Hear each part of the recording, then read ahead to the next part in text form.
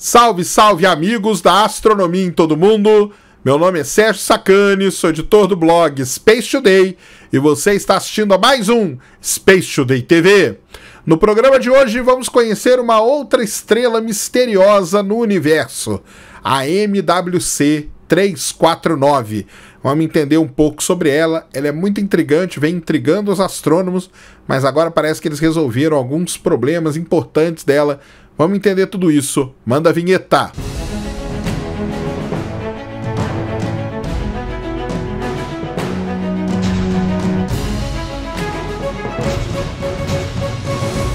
Muito bem, pessoal, vídeo novo aqui no canal. Antes do vídeo começar, você já desce aí, já deixa seu like, já se inscreve no canal para você não esquecer durante o vídeo e para ajudar a causa da divulgação científica no Brasil como eu falei para vocês, nesse programa nós vamos aprender um pouco sobre uma estrela misteriosa no universo, outra, a MWC 349. Antes disso, a gente tem que aprender sobre uma coisa muito interessante que foi descoberta há relativamente pouco tempo e tem poucos exemplos naturais disso, que são os chamados Masers. Você já ouviu falar no que são os Masers? Eu vou tentar explicar para vocês de forma super resumida. Primeiro, que a gente tem que falar que são Masers astrofísicos, tá?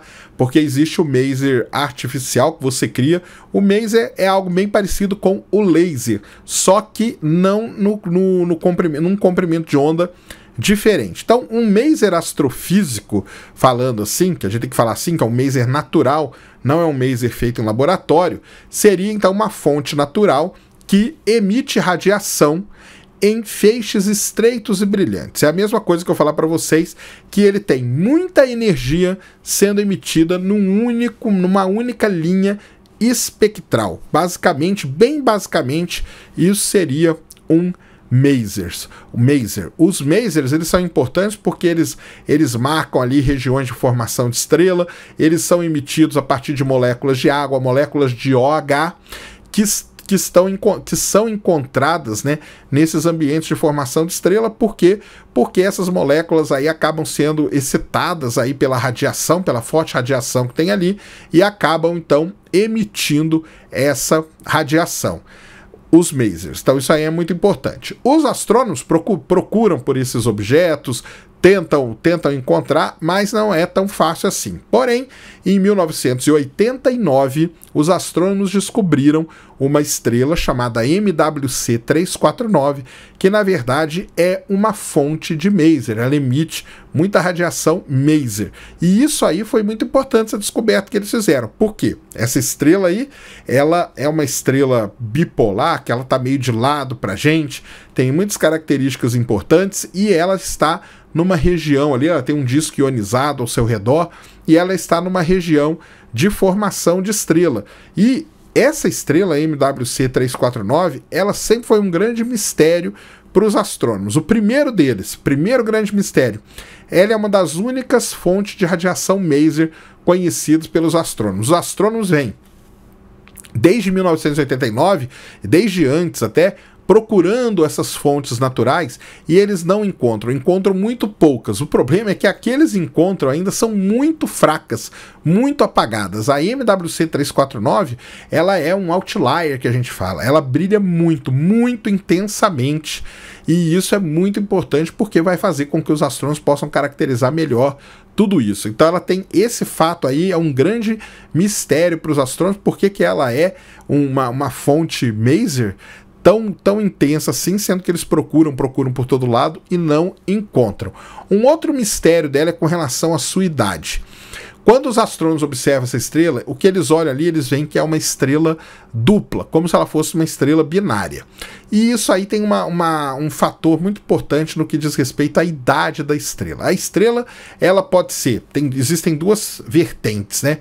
Tem o pessoal que considera que ela é uma estrela jovem, ainda, e tem o pessoal que considera que ela é uma estrela mais velha. De acordo com as características que eles observavam até agora, ela tinha características de ser uma estrela mais velha. Mas, como eu falo para vocês, quase que todo dia, se não todo dia, a astronomia vem evoluindo, os instrumentos astronômicos estão evoluindo a cada dia e estão sendo feitos cada vez instrumentos mais precisos, cada vez instrumentos mais poderosos, e isso é uma grande ferramenta para os astrônomos, e nesse caso não foi diferente.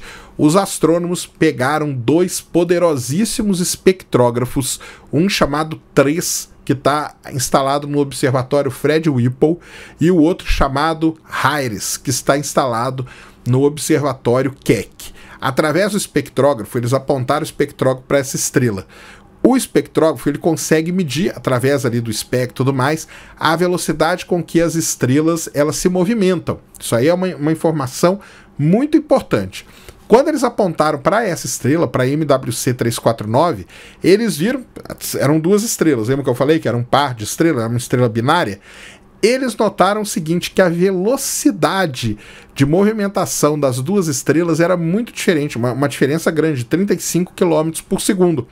Com isso aí, eles concluíram que que a MWC 349 não é uma estrela binária, ela é uma estrela só. A outra estrela que a gente observa, que a gente, que os astrônomos observam, é nada mais é do que uma coincidência, do que um alinhamento, e faz com que eles pensem que a MWC 349 é uma estrela binária. Outra coisa, a velocidade com que a estrela se propaga está muito ligado com a idade dela também. Estrelas mais velhas andam mais rápido, tem toda uma relação entre a velocidade que essas estrelas vagam pela galáxia e a sua idade. E pelas contas que foram feitas, pelos cálculos que foram feitos, usando esses dois espectrógrafos, o que os astrônomos concluíram que essa estrela é uma estrela muito jovem, é uma estrela massiva e que está agora no meio ali, né, de uma, de uma grande nuvem de formação de estrelas. Ou seja, usando do, dois espectrógrafos superpoderosos, eles mataram duas charadas. Uma conta a idade dela e outra o fato dela não ser uma estrela binária. É uma estrela que merece ser muito bem estudada. Eles querem caracterizar ela muito bem, entender muito bem, entender o que, que são esses meses. Como tem pouco, eles não entendem muito bem. Por que, que tem coisa que a gente entende bem? Porque a gente tem muita estrela. Por que, que a gente entende bem de anãs vermelhas, igual eu falei no outro vídeo? Porque tem muita anã vermelha. Então é fácil de você estudar. Para qualquer lugar que você aponta, você estuda, você tira o espectro, você faz todo o estudo que você puder.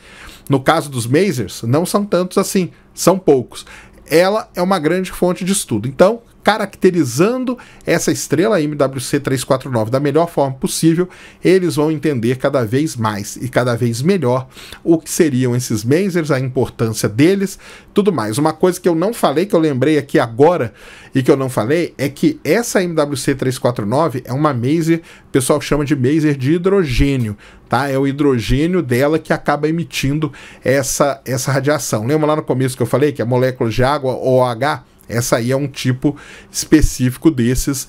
Então é muito importante porque aí eles vão cada vez entender mais e melhor o que seriam essas fontes aí de radiação.